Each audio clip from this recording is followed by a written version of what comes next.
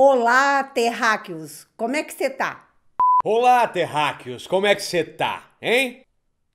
Olá, amantes da boa música que estão assistindo esse vídeo. Hora de parar de assistir. Não, não, brincadeira. Vocês sabem qual é o tema desse vídeo? Eu vou falar de um cara que é sempre associado ao grande número de filhos. Mas, gente, ele também é cantor de funk. É, mas se só falam dos filhos, dá pra gente já imaginar a qualidade das músicas dele, né? Mas não interessa, porque eu estudei a vida dele e decidi. Eu quero ser Mr. Catra. Quer saber por quê? Então roda a vinheta que vai começar a putaria!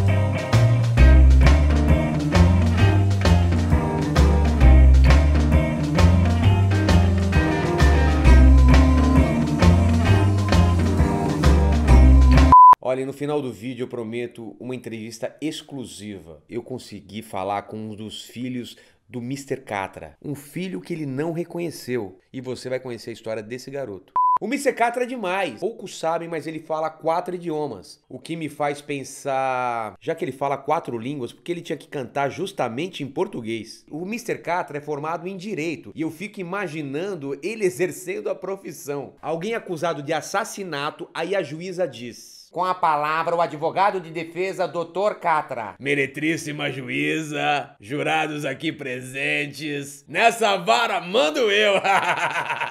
Mr. Catra é um homem romântico. Ele acredita na conquista. É como ele mesmo diz em uma de suas belas canções: Bumbum não se pede, bumbum se conquista. Mr. Catra é sincero. Tem uma música sua que diz: A verdade nua e crua. O meu coração é teu, mas minha pica não é só tua. Lindo. Mr. Catra é um visionário, como nessa soberba canção. Se depender de mim, nunca mais toca siririca. É um poeta, né? Não sei se vocês sabem, mas o Mr. Catra é famoso por pegar músicas de outras pessoas e estragá-las. Pô, ele podia pegar alguma música do latino e estragar. Ah, não, o latino já faz isso. Um dos grandes sucessos do Catra é Vem Todo Mundo. A letra é assim: Vem Mariana, Juliana, Marieta, Julieta. Vem Aline, Yasmine, Jaqueline, vem Andréia. Vem Eliceia, vem a Yara, vem Lissara, vem a Cláudia, a Mana, vem Amanda. Porra, vem todo mundo.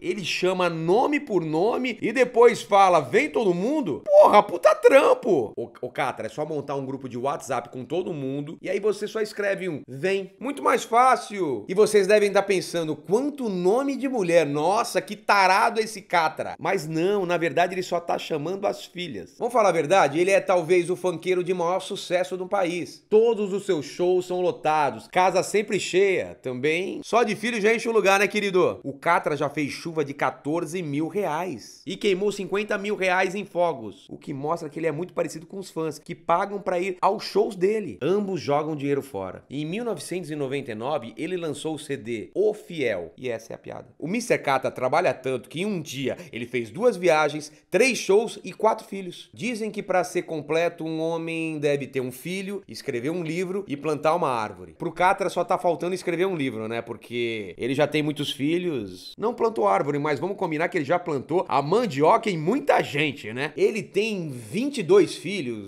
é 22 ou 23, 24. Na verdade, a gente nunca, nunca sabe direito quantos filhos o Mr. Catra tem. É, cada lugar que eu pesquisei dava um número diferente. Você que tá assistindo esse vídeo, você pode ser filho do Mr. Catra. É, o censo no Brasil é dividido em setores: região norte, nordeste, centro-oeste, sul e casa do Mr. Catra. O Catra tem tanto filho que o governo tá pensando em criar a Bolsa Mr. Catra. A família dele não tem uma árvore genealógica, tem uma Amazônia genealógica. Onde que ele faz o almoço de domingo com a família? No Maracanã? Almoço na casa do Catra, a fila é maior do que a do Bom Prato. O Catra deveria fazer um Big Brother na casa dele. Toda terça, um filho é eliminado. Lembram das manifestações? Todo mundo com a plaquinha vem pra rua? Vocês sabem quando foi que as manifestações pararam? Foi quando o Catra foi pra rua com a plaquinha. Vão pra casa que a janta tá pronta. Sabia que o padre Marcelo Rossi já gravou uma música para ele? Sabia? O senhor tem muitos filhos, muitos filhos ele tem. Eu sou um deles, você também. Dizem que o nosso corpo é formado 70% de água. No caso do Catra, 70% é de esperma. Eu não sei não, mas eu acho que o Mr. Catra já gastou todo o estoque de espermatozoide que ele tinha. Eu, eu, eu não, não entendo, não é possível. Eu acho que onde ele encosta a piroca, nasce vida. Se ele fosse o Messias, ele chegava no morto, encostaria a piroca no morto e diria: Levanta-te e chupa.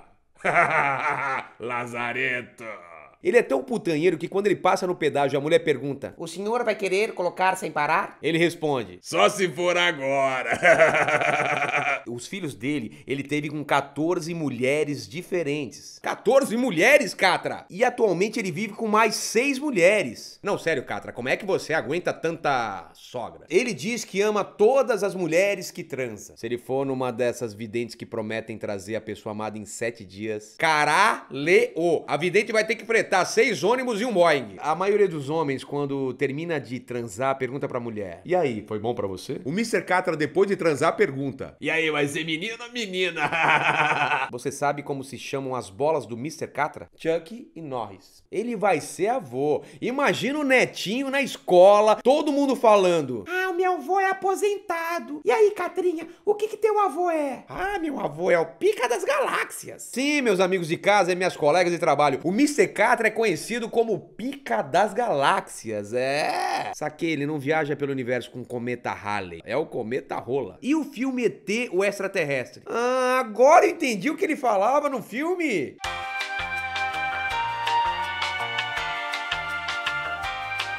ET, telefone, Mr. Catra. Desculpa. Se Catra estivesse em alguns filmes, os filmes seriam diferentes. 202 Filhos de Francisco. Rombo 22, Nascido para Engravidar. Um homem, uma piroca, uma missão. Engravidar o mundo. Uma aventura do barulho de um ovário que luta para sobreviver num mundo repleto de uma galerinha de espermatozoides muito loucos. Em breve, num cinema perto, muito perto, muito perto de você. Tá pensando aqui, o Mr. Catra e o Batman têm muito em comum. Os dois são adotados, os dois são ricos, o vilão do Batman é o Coringa, então. Os dois só entram em ação espancando o palhaço. Vocês sabiam que o Catra caiu um tempo atrás na ilha de Lost? É, hoje em dia chamam o lugar de China. Se Deus tivesse criado o Mr. Catra ao invés de Adão, ia ter logo que fazer umas seis ervas e quando Deus falasse, Crescei-vos e multiplicai-vos. o Catra ia falar. Demorou. O Catra se converteu ao judaísmo. Deixa eu te explicar uma coisa, querido. Cortar um pedaço do pinto não evita filho, não. O Catra fala que tem uma igreja. O nome da igreja? Buceita. Ele se autonomeou Mr. Papa. Como é que seria a igreja dele? Em nome do Pai, do Filho, do Filho, do Filho, do Filho, do Filho. Para finalizar, eu queria recitar uma bela poesia. O autor, Mr. Catra. Olha só, olha só. Ela quer saber se eu tô em Búzios ou em Taparica. Quer saber se eu pego a Cláudia, a Vânia ou a Rita? Já falei, garota, se continuar, não me instiga. Quer me rastrear? Para de me ligar. Isso me irrita. Quer me rastrear? Bota um chip na minha pica. E agora, conforme eu prometi no início do vídeo, o filho bastardo de Mr. Catra. MC Catraca. Catraque, irmão. Tá, chega aí. Aí, beleza? Aqui, tudo bom? Tranquilidade. Tu tá novo nessa parada. né? É, conta a sua história então, cara, que você é, você é filho do... Pô, irmão, então, mandar pra tu. Pô, eu sou filho do Catra. Ninguém sabe aí, mas minha mãe é socialite, tá ligado? Aí contratou ele, pô. Aí acabou tendo a relação lá e só Relação que. sexual. É, que eu nasci, né, cara? Pra ter. a- E infelizmente ele não. Não quis me. Eu sou o único filho que ele não quis. Que ele não quis receber, entendeu? Pô, tu olha pra mim, eu sou a cara do Catra. cara. Não, a gente, a gente, a gente vê isso, aí dá pra perceber mesmo. Aí, mano, tu não sabe o que é tudo. Tu às vezes acordar um dia, entendeu? Com a letra na cabeça. Tu escrever na hora um funk boladão. Aí tu não tem um pai pra tu mostrar, entendeu? Que se meu pai me desse apoio, se me reconhecesse, hoje eu tava aí bombando. Infelizmente é muito complicado, porque a câmera é sua, manda um recado pro seu pai. Pô, então aí, pai, lembra aquele dia que eu fiquei ali na descida do Borel um tempão? Passei dois dias acordado lá, tu não sabe o que, que eu fiz pra ficar acordado, cara. Pô, pra tu poder me, me reconhecer como filho da próxima vez. Pô, vê se tu me reconhece aí, cara. Catra, cara, Pô, até essa parada eu sei tá fazer, vendo? entendeu? Você sabe? Igualzinho. Pô, eu. Igual, cara, eu vi. Para, pa, para, para, para. Galerinha do funk, do punk, junk que gosta de sangue, vampiros do meu Brasil, se inscrevam no meu canal, dá aquele like de responsa nesse vídeo, favorita no YouTube e no seu coração. É, curte minha página no Face, me segue no Instagram, Twitter, só não me segue na rua que eu não gosto. Então é isso, o Catra é brother, o Paulinho Serra também, parceiraço. Dá uma olhada no canal dele, o Amada Foca. O link tá aí na descrição do vídeo. Beijo no cotovelo, fui! Para, pa, para, para, para, para, pa, para, para, para. Várias vezes ele falou que eu não tenho idade pra ser filho dele, que eu sou quase da... Pô, não é nada que eu deixo a barba crescer e parece que eu sou mais velho, tá ligado? Você tá com quantos anos? Tô com 19. Pô, qual é? Eu pensei que ele ia mandar uns 25, 27.